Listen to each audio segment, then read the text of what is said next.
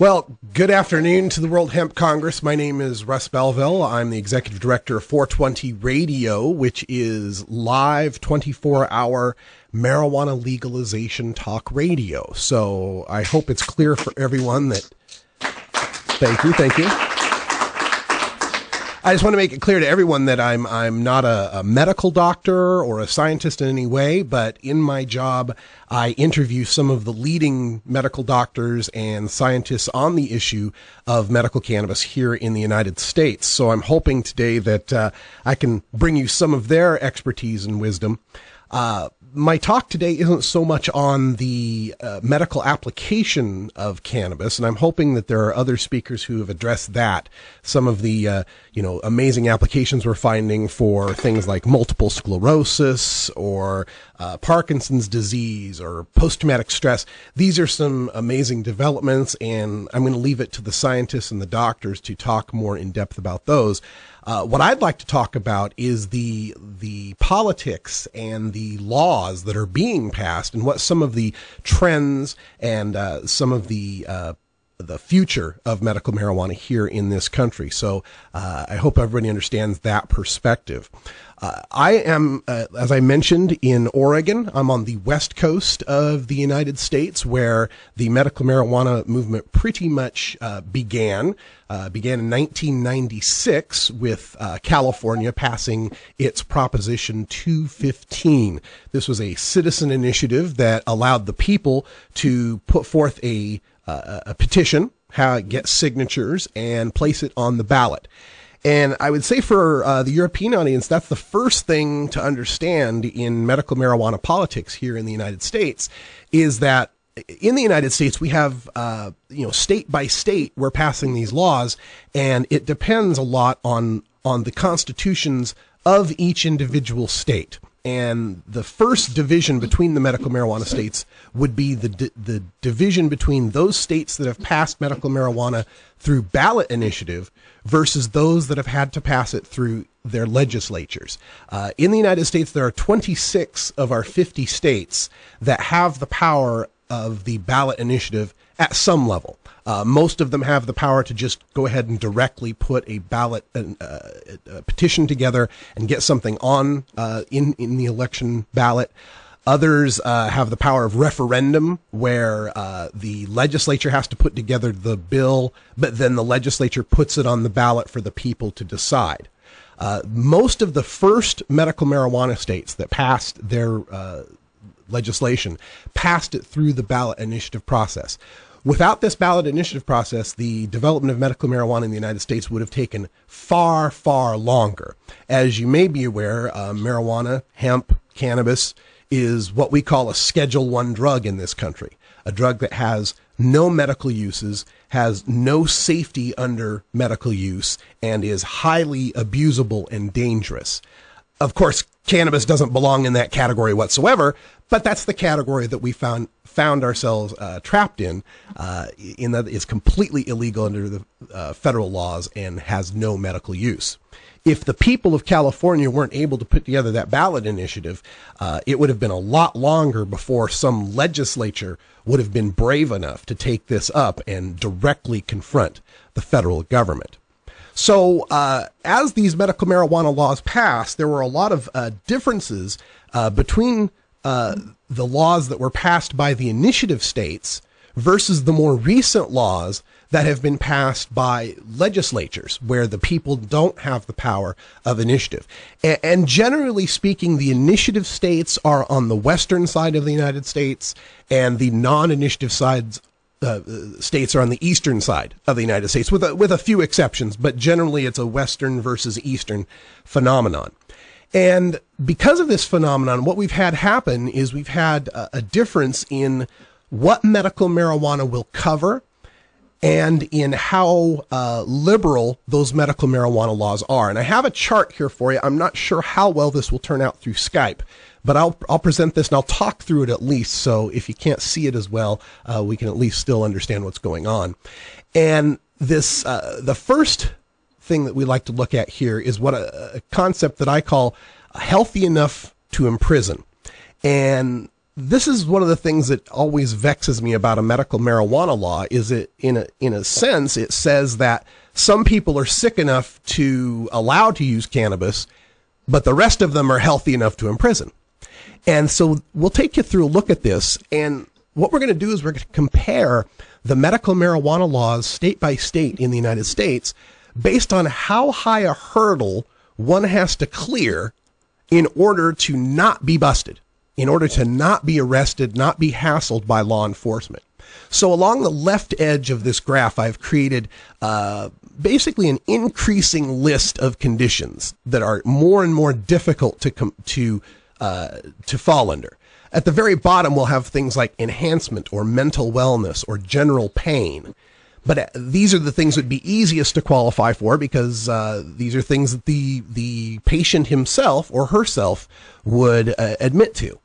Uh, as we get further up the list, we get mental illness, chronic conditions like pain and nausea, lifelong debilitation like glaucoma, seizures, or spasms, terminal illnesses like cancer, AIDS, or cachexia, all the way to the top, death.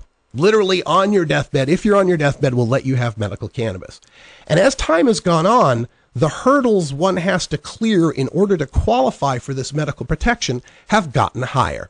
We'll start in 1996. And in 1996, California passed its medical marijuana law, and it made it to the point where anxiety, depression, mental wellness, pretty much anything that a doctor believed would qualify uh, for medical marijuana, anything a doctor thought was a reasonable uh, condition. But as time went on, 1998, as the 90s passed, the next few states, Washington, Oregon, Alaska, Maine, Hawaii, Nevada, Colorado, all passed laws that required a specific condition list. California's law is unique in that it allows doctors to make the decision as to what they will recommend cannabis for. And this fits along pretty much with the way medicine works in this country. In fact, about one out of five prescriptions in the United States is for what we call an off label use of a drug. That is, a drug being prescribed for something that our Food and Drug Administration did not approve it for. But with cannabis, since 1998, in Washington and Oregon started this, there have been condition lists, a specific list of diseases or conditions for which you can get medical marijuana and no other. You cannot qualify in, say, Washington State if you have post traumatic stress disorder. In Vermont, you cannot qualify if you have glaucoma which is covered in just about every other state. In New Jersey or the District of Columbia, you pretty much have to have cancer, AIDS, or cachexia before you're going to be able to qualify for medical cannabis.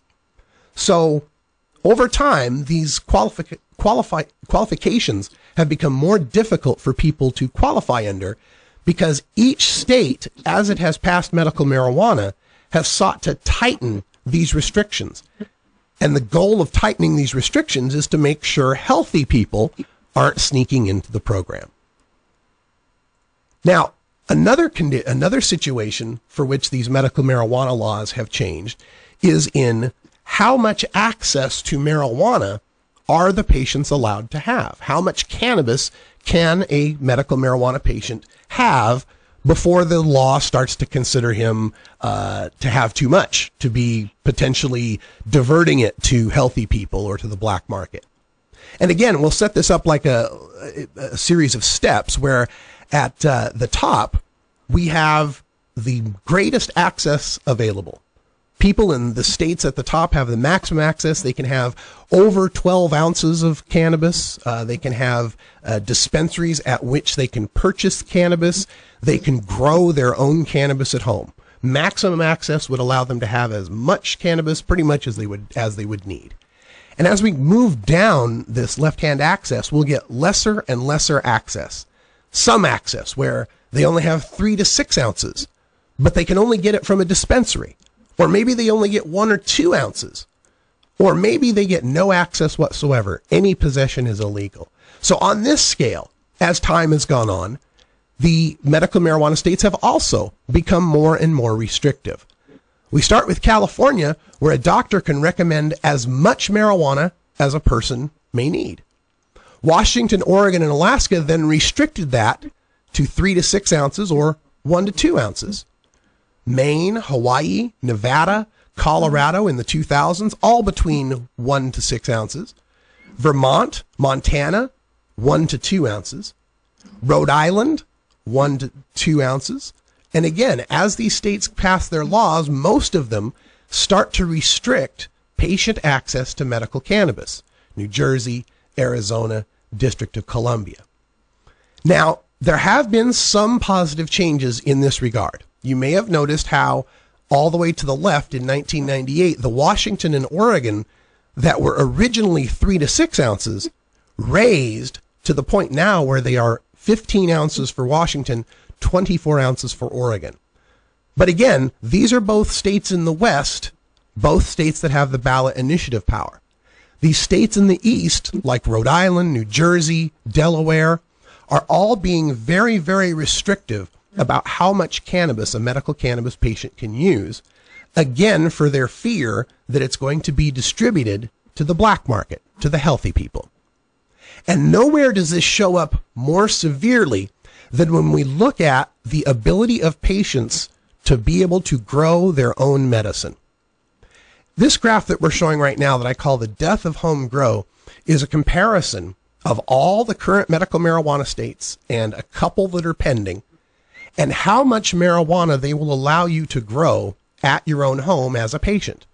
The dark green bars represent mature plants, plants that will you know, be producing buds, be producing medicine, and the light green bars represent seedlings, how many clones or seedling plants one may have.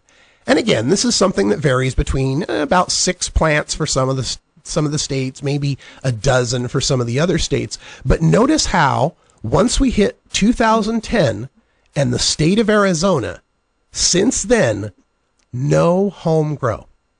That would be Arizona, District of Columbia, New Jersey, Delaware, Connecticut, Massachusetts, Maryland, and most recently Illinois and New Hampshire, where patients aren't allowed to grow a single marijuana plant. They must, must purchase their marijuana through a series of dispensaries, most of which are some level of a state run program.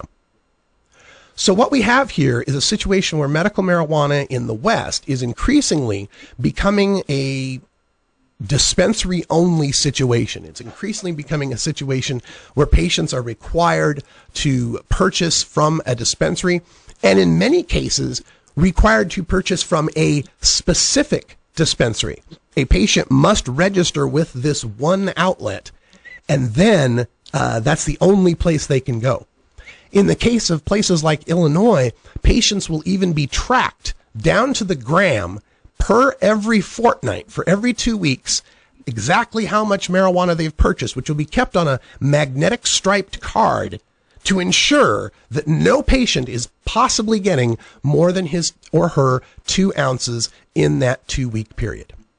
So this is the trend in uh, medical marijuana legislation uh, to be increasingly restrictive, to increasingly take the power of cultivating plants away from the patients and giving it only to business interests that are generally very, very hard to qualify for.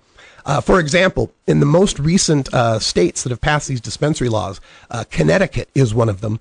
I was reading a story the other day of how the applicants to run a dispensary in the state of Connecticut must have $2 million in escrow, must have $2 million just in the bank sitting there before they can even think of applying to be a dispensary. When they turn in their application for a dispensary, it must come with a $75,000 application fee. Other states have application fees that are $5,000 or $10,000 that are non refundable. In the state of Massachusetts, the law there has indicated there may be five dispensaries per county. There's five counties in the state. There or seven counties in the state, pardon me. Therefore, there can be a total of 35 dispensaries. Over 100 entities have applied to be one of these 35 dispensaries. Each of them spending $5,000 or more in non-refundable fees that the state gets to uh, gets to recoup just for the privilege of applying. So what we have in, in America, in my opinion, is a, a, dire situation when it comes to medical cannabis, at least in the states that don't have the initiative power. The trends that I see tend to make me think medical cannabis is a box canyon. It is a, a trap in a sense where people who wish to use cannabis for its full potential as hemp, as a recreational item, are going to be trapped in this pharmaceuticalization of cannabis. We're going to be trapped into this idea that cannabis is this incredibly powerful drug and it's only for the sickest of the sick and it can only be used if it's heavily controlled and severely monitored and heavily surveilled. And if we buy into this idea, and if we get locked into this idea, it's only a matter of time before pharmaceutical companies like GW Pharmaceuticals perfect their sprays like Sativex, which I know in Europe has has been approved in many countries. It's in phase three clinical trials here in the United States. They'll perfect Sativex sprays. They'll perfect inhalers. They will perf- perfect all sorts of methods of delivering cannabinoid therapies that do not involve the whole plant. And once they've successfully separated the medicine from the whole plant, they will then be able to put in those dispensaries these cannabinoid pharmaceuticals instead of the whole plants. And since the people in those states have been locked into a dispensary system and been forbidden to grow their own plants, they will be trapped in that dispensary system and forced to use the cannabinoid pharmaceuticals that will then be paid for by insurance. So I feel it is of paramount importance to reformers in the United States and worldwide to to uh, indicate just how important the right to growing our own plants is. Only through being able to grow our own cannabis plants do we have the leverage against corporations or governments that would seek to control that plant, over charges for that plant, provide us uh, substandard plants. Only if we have this right to home grow do we have the power to help determine how medical cannabis proceeds from this point forward. Thank you for having me here for the World Hemp Congress. And if anyone has any questions, I'll be glad to take them.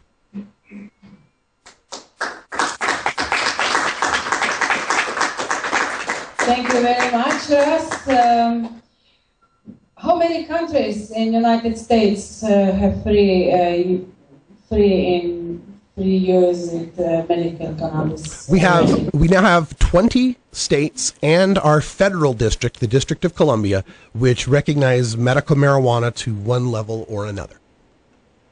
How does this look out? Is this um, hospital, is this normal? Is your hospital or hospital? How how how function? How is this functional? Well, uh, hospitals, by and large, in any state, whether it's a medical marijuana state or not, are not going to tolerate the use of cannabis within their hospital. There may be some rare exceptions, but generally, hospitals in the United States aren't going to tolerate it. Um, there may be individual doctors or nurses or staff at the hospital who might look the other way, who might purposefully ignore it. But generally speaking, cannabis is, is forbid, cannabis use is forbidden in most hospitals. And that has to do with the fact that most hospitals have some degree of interface with the federal government. They'll have some sort of federal contract or federal grant. And then the federal government will use that as leverage to to kind of extort these hospitals into not allowing cannabis use. Um, hello, I am from India and I have a question for you. And actually, uh, thank you for um, creating this radio station and thank you for creating awareness. Thank you. For uh, the world in the West and also now the world in the East, which can look up to a radio station like this, which is actually talking about uh, legalization and promotion of activities which uh, uh, is possibly uh, heading us towards the um, war on drugs and war on uh, climate change and war on uh, uh, making humanity into a, small box. You know, so thank you for that. But my question is, is, is you, for you in India when you look at the historical use of cannabis.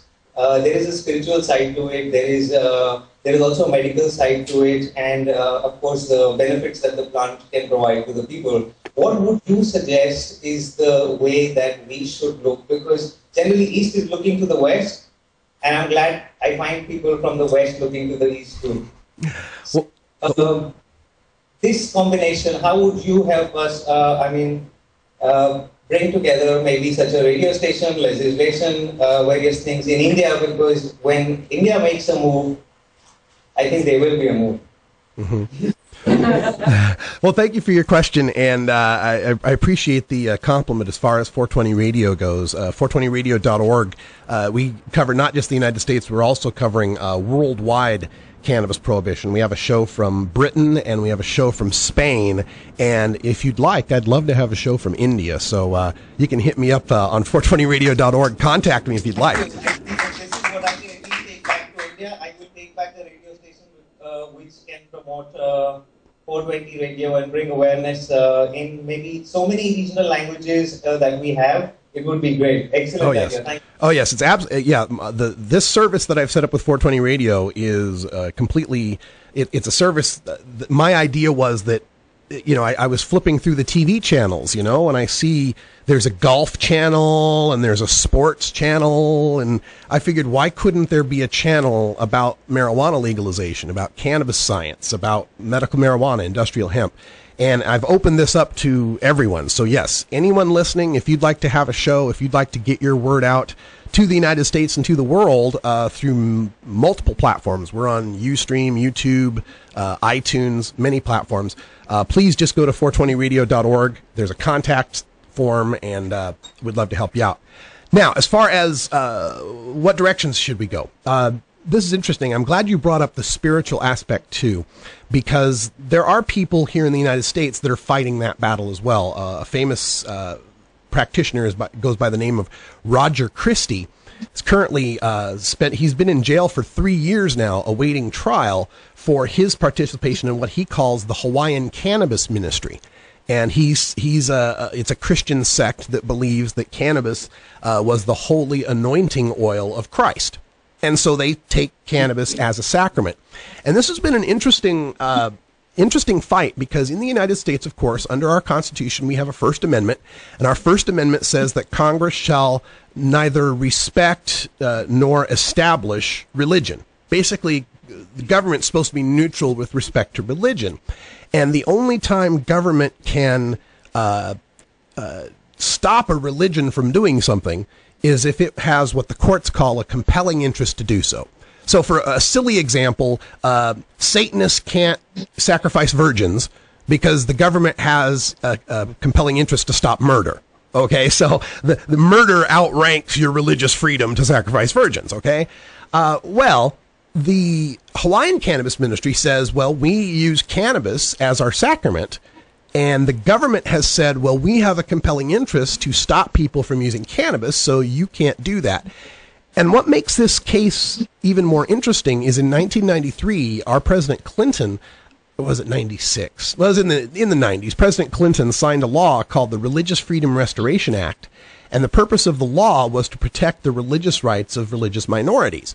This was used successfully by some of our, uh, uh, Aboriginal populations here in America, some of our Native uh, Native Americans, and by some members of a Brazilian uh, religion to be able to use some powerful hallucinogenic drugs uh, known as peyote, uh, peyote cactus, heavy duty hallucinogen, and ayahuasca, which is a kind of a hallucinogenic tea.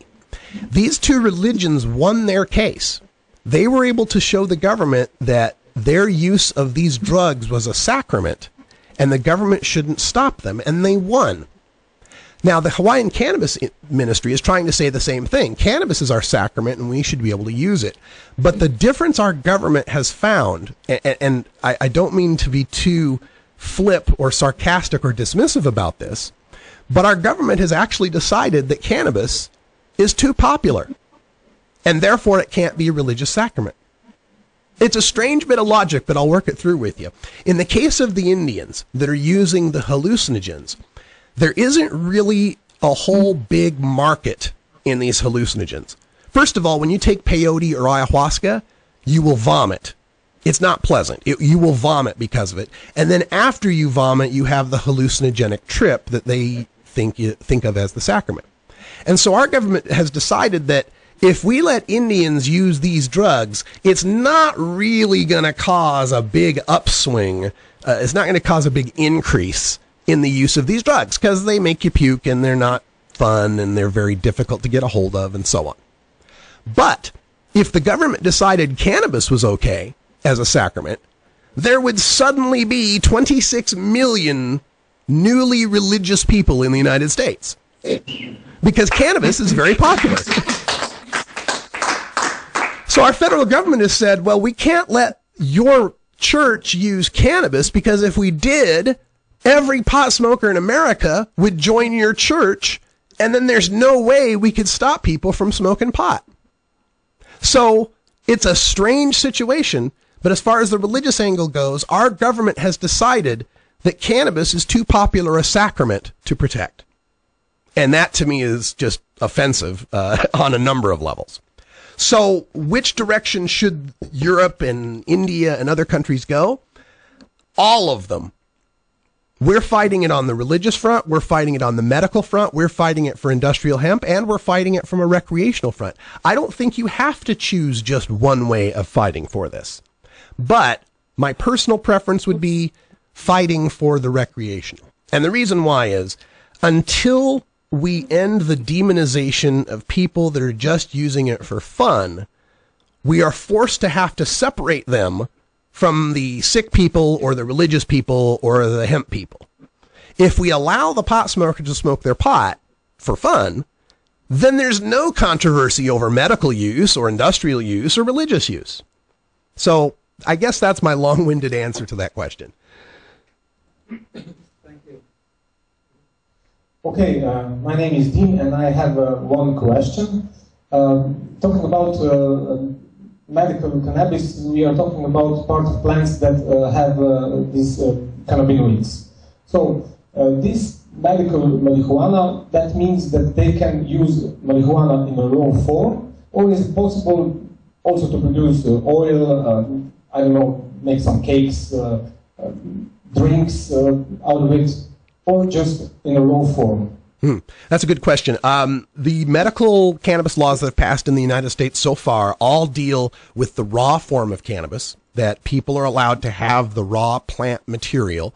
And then with that plant material, uh, they can manufacture just about any, you know, uh, uh, edibles, like, you know, the pot brownie that everyone thinks of, or cookies.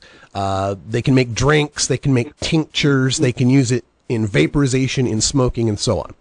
However, uh, most recently, the people who are against medical marijuana and, and who are just against cannabis in general in this country, they've kind of realized that they're losing. In the United States currently, the latest poll shows that 4%, 4% of our population thinks we're winning the war on drugs. 80%, four out of five people, 80% in this country support medical marijuana. So to oppose medical marijuana now is kind of seen as a losing battle. And most recently, we had a fantastic documentary on our uh, cable news, uh, CNN, where a very respected physician named Dr. Sanjay Gupta came out in favor of medical cannabis. And part of his uh, documentary showed a young three year old girl suffering seizures. Uh, who was able to treat her seizures with a uh, uh, an extract rich in cannabidiol, the CBD and very low in THC, which of course, uh, Dr. Gupta points out is the part that gets you high. So lately, the the anti-medical marijuana people have seized on that that CBD extract that doesn't get you high, and their talking point now is that well, we shouldn't be giving people this whole plant that's crude and we don't know how much this and how much that and is it going to work or whatever. Instead, we should synthesize this plant and, and extract out of it the CBD and extract out of it the THC and make all sorts of, uh, tinctures and potions and, and things that we know the guaranteed quantities of and, and so forth. So that's been the push now is to push us away from the whole plant and push us into you know synthesized versions of its constituents and that fits along with what i was telling you about you know uh, the states aren't letting people grow their own plants the idea here is to push us away from the whole plant because we can grow that ourselves and it's cheap into pushing us to these synthesized versions that have to be made by a pharmaceutical company that can mark it up a thousand percent and make a profit off it. To me, the most scary thing about medical marijuana to the mainstream isn't the fact that it's marijuana. It's the fact that it's a plant, that we can grow it ourselves and cut out the middleman and all that pharmaceutical and, and, uh, and medical for profit industry. That's what terrifies them is us cutting them out of medicine for profit. Okay, and, and then uh, the next question uh, related to this one. What kind of uh, usage of medical marijuana would you prefer or your, would you recommend? Uh, do you mean which delivery method? Which, like smoking? Or? Oil or raw? oh, okay, okay. Well, you know, um, it's it's it's something that's going to vary depending on the patient. Uh, I think the most effective method of medical cannabis use is vaporization. Uh, vaporization provides the immediate relief that a patient needs, especially if we're talking about a patient with uh, with nausea. If, if someone is violently vomiting, it's a little much to ask them to swallow a pill. So to me, the, the, their ability to be able to vaporize, have that immediate relief without all of the smoke and all of the harm that smoke causes, I think vaporization is a very superior way of using medical cannabis. Uh, for children, uh, a lot of the people that use it for children uh, find that baking it into an edible item is the best way uh, into a cookie or a brownie or something. Uh, because just the idea of a child smoking or or vaporizing uh, can be a little disconcerting to some people. And then, okay, another question related to uh, children use of medical cannabis. I know uh, one one friend of mine had she had a son, and he died at age three, something like that, because of a tumor. And she could not get any, for example, hash oil or hemp oil anywhere because they told you, okay, under seven year we don't uh, recommend to use that. Is right. it, are there any uh, scientific researches related that uh, also children in age two or three can use this kind of uh, medical cannabis instead of, I don't know, chemotherapy and so on? Right. Um, well, first on the medical research front, uh, very little, if any, research on medical cannabis use by children. Um, since cannabis in America is still a Schedule One drug, it makes it near impossible for researchers to get a hold of any for legitimate research. Cannabis is the only drug in the United States for which the entire supply is run by the federal government and there's only one source. To be able to get any of that cannabis to study, you have to go through the National Institutes on Drug Abuse. And the only studies they tend to give the green light to are studies that find the harm of cannabis, not studies that are designed to find the benefits of cannabis. Which kind of makes sense. They're they're a group that's prom- that's against drug abuse, so they're going to fund studies having to do with drug abuse. They don't think of it as medical. In fact, as far as the federal government's concerned, there is no such thing as medical marijuana. So on the science side, on the study side, we don't have much. But anecdotally, I can tell you personally, I know of three children. I've interviewed their parents uh, who have benefited amazingly from medical cannabis. One is a little girl whose name is um, uh, Mykayla Comstock. She's suffering from leukemia, and she's been using cannabis oil to deal with the leukemia and the chemotherapy treatments. And thanks to both chemo and her cannabis, she is now cancer free. Uh, we have another child whose name is Alex Eccles. Alex Eccles suffers from a severe form of autism that causes rage. And it causes this little boy to uh, put his head through walls, to beat himself with his own hands until he's bloody. Uh, and his father used medical cannabis for him, and the child became mellow and attentive and stopped hitting himself. Uh, we have another child in the CNN documentary, Charlotte Figi, who severe epilep- epileptic was having up to 300 seizures a week. They gave her some medical cannabis. Now she has maybe one seizure per week. So anecdotally, we've seen plenty as far as how medical cannabis uh, can help children, and uh, this I, I, think this is also becoming one of the uh, main reasons more people are opening up to medical cannabis because uh, when you see a child who is suffering, you have to be a monster not to want to see that child get better.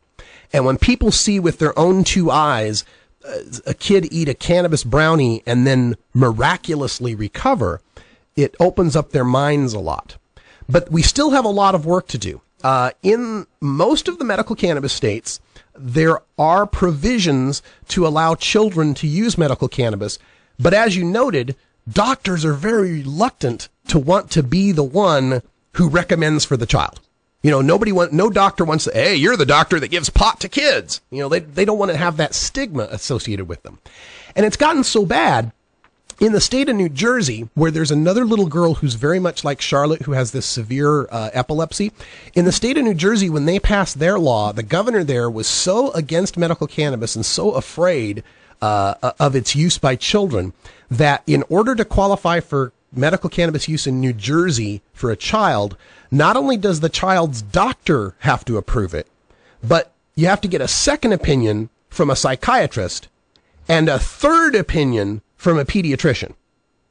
This is the only place in America I can think where you need three doctors to agree before you can move ahead with a treatment. And the problem is, in New Jersey, these doctors all have to register with the state if they're recommending medical marijuana. And to date, there are only two pediatricians in a state of 9 million people who are even registered to recommend medical cannabis, and neither one of them have. So there's a lot of work to do to help these kids out, uh, and um, I sure hope that we do. Thank you. I um, back from India. I have another question for you. And first one is, how do you fund such a radio station? And second, what do you think right now about Uruguay making this one giant leap uh, towards the legalization for various uses, recreational, industrial? Okay. Uh, I have many more questions, but I will um, let you answer. Okay. Well, to find 420 Radio, just go to 420radio.org and that's the main place to find us. Uh, when we say it's radio, it's internet radio, so you won't find it on any terrestrial airwaves. It's only on the internet. But 420radio.org, or you can go to an application that's called TuneIn, T U N E I N, TuneIn. It's a radio application, and if you search for 420 Radio there, you'll find us. You could also go to iTunes or to YouTube and search for 420 Radio, and you'll find us there as well. Now, as far as Uruguay, um, Uruguay may be the best news I've had all year. yeah, it's uh, and Portugal the year before that. so between Portugal and Uruguay, I'm a very happy, happy activist.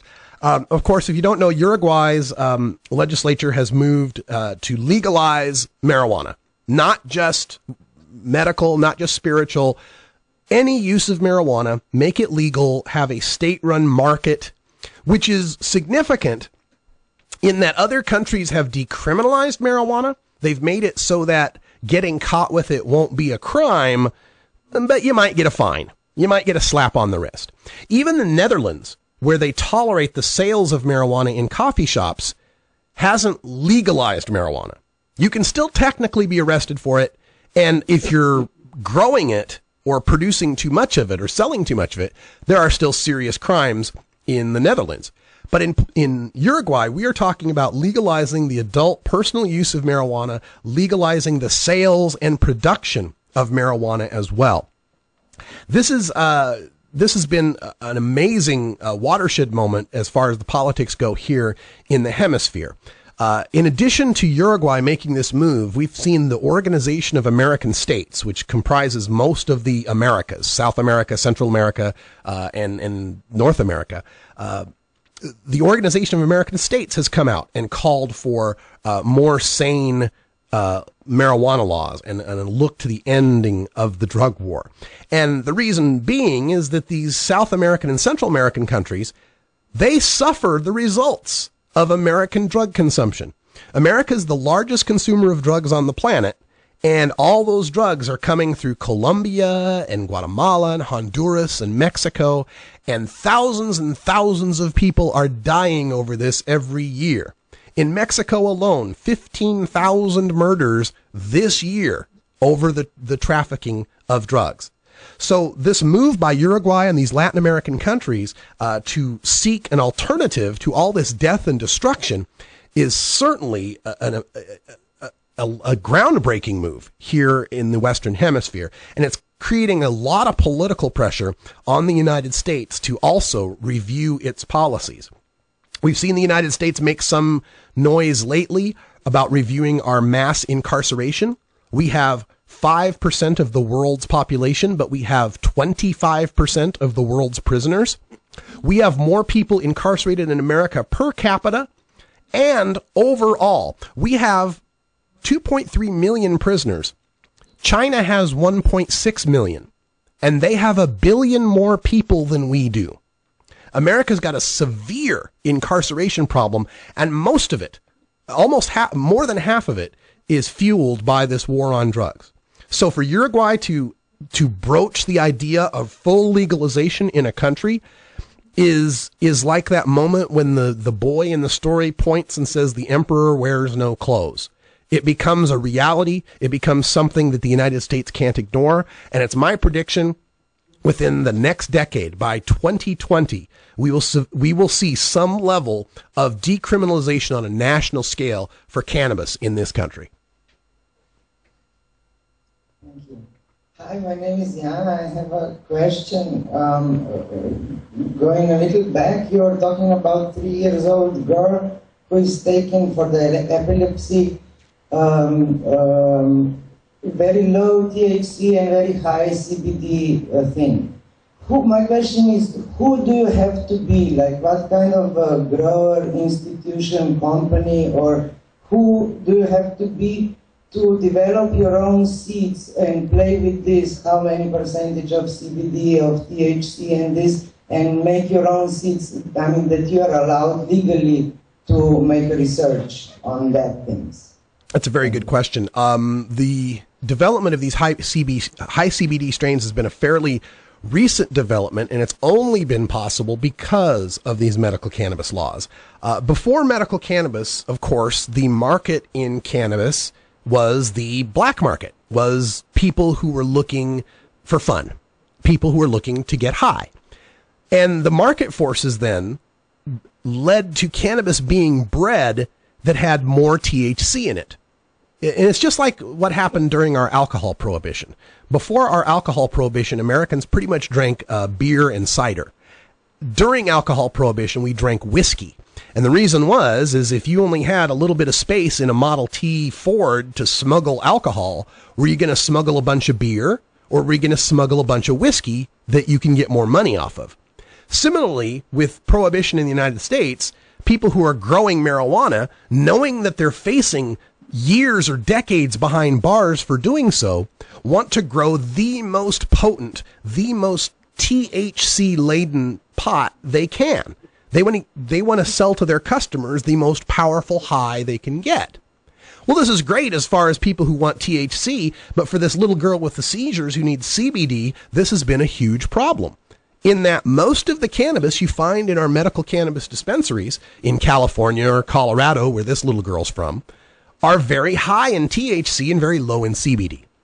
But now that we have medical cannabis maturing in those states. I mean, California's had it for what, 16, 17 years now. Uh, Colorado's had medical cannabis for 13 years.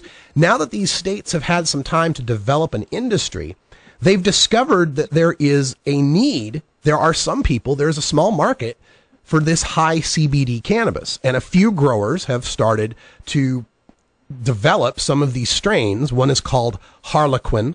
Another one's called Charlotte's Web uh, some of these strains that are higher in CBD and lower in THC.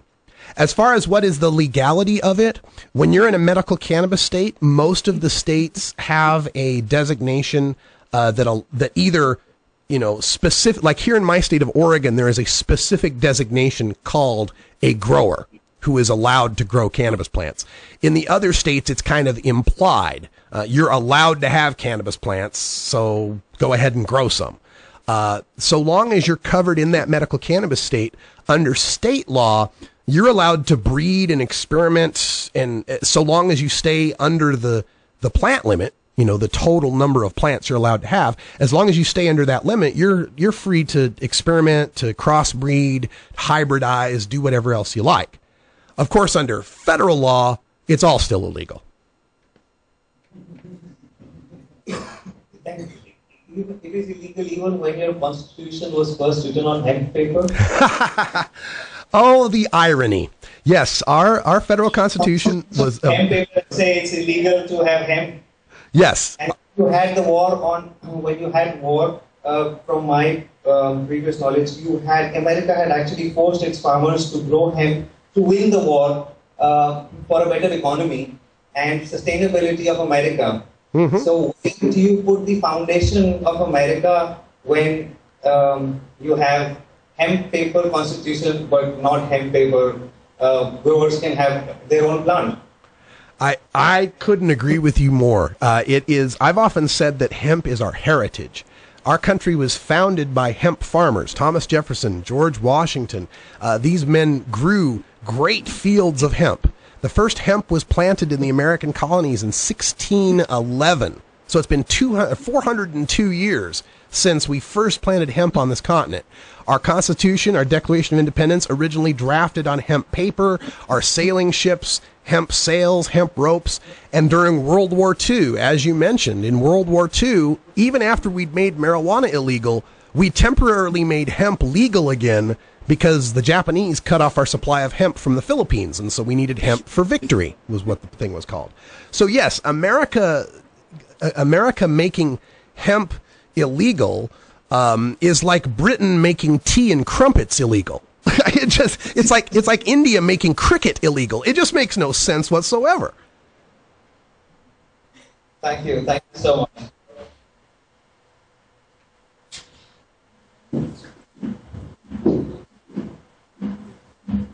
Um, my question is how your country uh, can uh, uh, uh separate criminals and um, okay, it's, it's like law and uh, ill people which one use medical cannabis. Is uh, is some special work there, or how this look out in your country? How how do we separate? I'm, I'm afraid I don't understand the question. Could you rephrase? If I am ill and I use medical cannabis, and uh, some doctor take to me this, and uh, somebody uh, which use this my medical in recreation for recreation, uh, is this uh, wrong in your country, and how your country can regulate this? Okay. Uh, well if you're in if you're in one of the medical cannabis states, if you're in one of the 20 states, there's generally a procedure you have to go through before you're allowed to use the cannabis. Uh, generally, it means seeing a doctor who then writes you a recommendation. And in most of the states, you then take that recommendation to the state. You pay them a fee that can range anywhere from $40 to $200. And then the state will give you a card that is good for a year. And so long as you have that card, police are not supposed to arrest you or harass you over your cannabis use. If you're in one of the non medical cannabis states and your doctor recommends cannabis and you're caught with it, you will go to jail. That's pretty much it. If I am ill and uh, I take medical cannabis uh, and recommendation in some another country of your states, uh, I am criminal, I go to jail. Yes if you, for example, I, I believe, and I, I'm not perfect on my European Union knowledge, but I think in the European Union you've got a couple of countries that recognize medical use. I believe the Netherlands is one. Uh, so if you were in the Netherlands and you got your recommendation from a doctor and you flew to the United States, uh, in any of the United States, you'd still be a criminal. As far as the medical cannabis laws go, most of the states don't even recognize the other states. For example, I'm in Oregon and I have a medical cannabis card. But if I travel south to California, I'm illegal until I get my California card. If I travel to Washington, I'm illegal until I get my Washington card. In fact, there's only five states out of the 20, and those would be Arizona, Rhode Island, Maine, Michigan, and Delaware. Five of those 20 states are the only ones that will accept cards from other states. And I don't think they accept cards from other countries. I think it has to be other states, but I'm not entirely sure. What your activists and country do in this uh, case? W- what can we do in this case? Yes, uh, did, did, did will be Well, same in, same in all your countries, and uh, we wish uh, that uh, this will be legal in the whole, whole world. This will not problem in the whole world if you are ill and you uh, can use medical cannabis or cannabis at all. Well- uh, uh, how you started regulated, or you do something, or how this look out in the United States? Well, um, if you're if you're a foreign national and you're using cannabis medically and you've got your doctor's recommendation, uh, when you get to the United States, you're just going to have to go through our procedures. You're going to have to see another doctor who's in the United States who will also recommend for you, and you're going to have to fill out the paperwork for that state and pay your fees and so on. How to change that? in the initiative based country, uh, initiative based states at least, we could put forth an initiative for what we call reciprocity, which just means accepting other cards. And that's been an idea for many of our uh, activists because here in the United States, we have a little thing uh, called equal protection, which means when we travel from state to state, we should be treated the same. Like if I'm married in Oregon, I don't have to go get married again in Washington. Every state recognizes my marriage. Well, so long as it's a straight marriage. Let's not, you know, gay marriage is a whole nother situation, but we won't go there for now. Uh, so basically the states are supposed to respect other states' laws, but they don't when it comes to medical cannabis. So I think fighting for that reciprocity in the existing medical marijuana states is of paramount importance, at least until we can get, you know, nationwide legalization. Uh, one more question from India. Okay. Uh, the law in federal states is different when you compare to uh, your uh, law in America, and the law for United Nations is different for several um, uh, different countries. But uh, to pass a resolution in the United Nations, you just need three countries to approve to be able to present the bill on the floor. So, what do you think will be um, your uh, status towards how we can put three countries together to bring a resolution for international law, which United Nations supports, because then it becomes a platform for every other country, EU, non-EU, to look at and um, go with it, because everybody has UN partner. Hmm. There, there is a sticking point in that idea, but I think it's a great idea.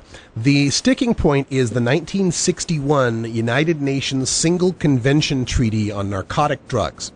Back in 1961, our uh, drug czar at the time, a man named Harry Anslinger, who was our drug czar from 1937 to 1962, uh, he pushed through the United Nations this treaty that most of the countries of the, of the world have signed on to that very strictly regulates uh, drugs and how they may be produced, how they may be regulated, how they may be sold, and so forth.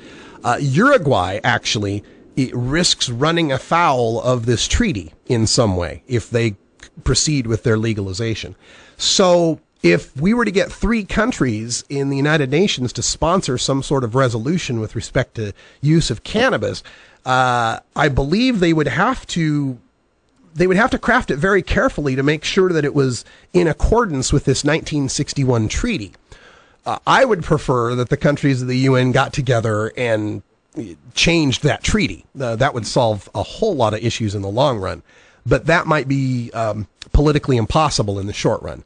So if we could get, say, the Netherlands, Portugal, and Uruguay to sponsor some sort of resolution, uh, I would be for it. I think those would be three countries that would make a lot of sense. Uh, hello from Slovenia also. I have a question. If you think that we can legalize marijuana, how long do you think the pharmaceutical empire will last? Ooh. If, yeah. If we can legalize marijuana, how long will the pharmaceutical empire last? Well, there are lots of drugs out there. I I, I think um, you know nothing's going to make pharmaceutical companies go away. We'll still need people to manufacture. I don't know antacids and uh, opiate painkillers and uh, SSRI mood inhibitors and so forth. I mean, cannabis isn't the miracle drug that's going to eliminate the use of all other drugs. That said, I think the, the pharmaceutical industry will probably lose 10 to 20% of its uh, market share uh, when people are able to substitute cannabis for such common things as sleeping pills and you know uh, aspirins and pain relievers and and uh, uh, the Pepto Bismol and these other anti nausea sorts of remedies. I think what we're going to see is a change because right now cannabis is kind of seen as a medicine of last resort. Like, okay, if you're dying and you've got cancer, then maybe we'll let you smoke pot. And I think what's going to happen is as more people discover, hey, if I if I smoke a little cannabis, I can get to sleep at night. Hey, if I smoke a little cannabis, my back pain goes away. When they discover it can be a medicine of first resort instead of turning to popping a pill, then I think we're going to see a huge uh, hit to the pharmaceutical industry's bottom line when people aren't buying bottles of Advil or Tylenol or or Aleve every other month. So, uh, will it kill the pharmaceutical industry? No, but I think it will severely hurt it. It's very hard to understand that uh, you uh, in United States is uh, legal uh, medical cannabis and not uh, hemp. I, I must uh, congratulations to your uh, two countries this year. They free and it, uh, uh, everything if we understand right. Medical cannabis and uh, recreation uh, use of canna- cannabis and hemp. How is this? can you talk about just a little bit about actions? will be this free and legal in all your country and we, we should hear just a little bit more about Sure. Uh, the United States keeping industrial hemp illegal is has no logical basis whatsoever. Uh, I often like to point out that every industrialized country in the world has legal industrial hemp, but still has illegal drug cannabis, right? Somehow, all of the police in Britain and Australia and Canada and China, somehow the police there can tell the difference between a tall, reedy hemp plant and a short, fat, bushy cannabis plant. But our cops in the United States apparently aren't that smart.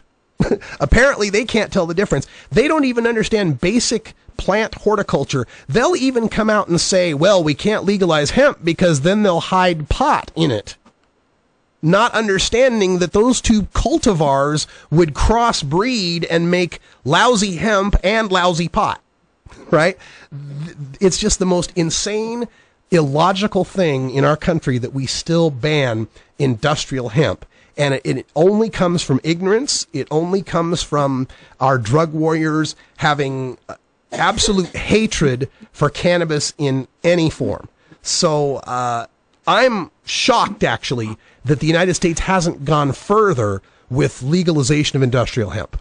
Now, with Washington State and Colorado legalizing marijuana for recreational uses, Colorado went further and actually uh, specifically legalized industrial hemp. There is a farmer in Colorado now who is growing a 60 acre plot of hemp uh, right now uh, in defiance of federal law.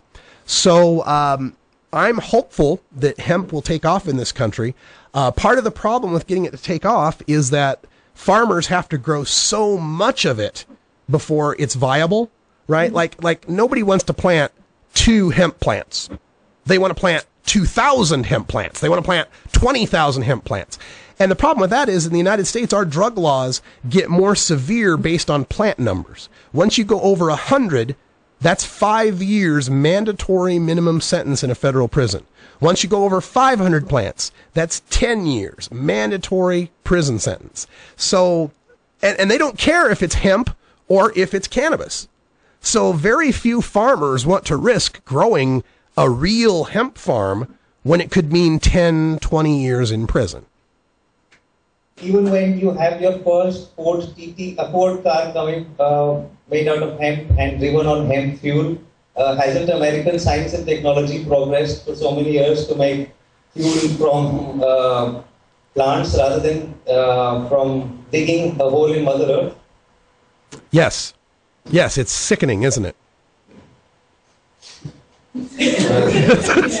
I, I, it is. It's it, you know when you know so much about uh, what hemp can do, uh, and I'm sure over this uh, this conference you've had many many experts. One of the things that uh, uh, appeals to me is building materials. This hempcrete that they've created. Uh, we have a, a company that has built an entire house in North Carolina, one of our states, built an entire house out of this hempcrete, which is biodegradable, which is carbon neutral.